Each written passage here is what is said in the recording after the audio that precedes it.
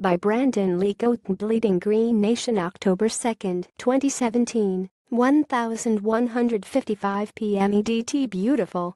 By Brian H. Stab Hogs Haven October 2, 2017, 1149 p.m. EDT Injuries and penalties hamstring the skins as they faded down the stretch in a loss by John Ben October 2, 2017, 1148 p.m. EDT Kansas City improves to 40 with an impressive win over Washington.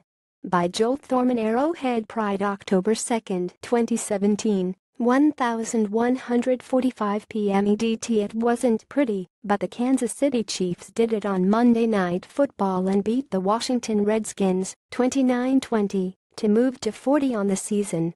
The Chiefs are the last undefeated team in the NFL by Joel Thorman Arrowhead Pride October 2, 2017, 1052 p.m. EDT It's the Chiefs and Redskins at 730 p.m. Arrowhead time on ESPN for Monday Night Football. This is your open thread.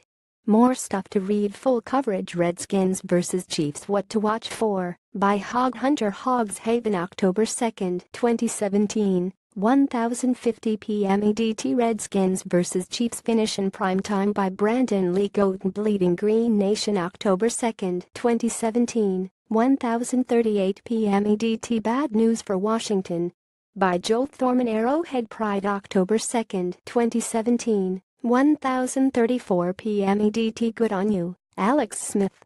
The KC Chiefs QB was having a bad first half, and not completely all his fault as the Redskins defensive line was beating the Chiefs offensive line.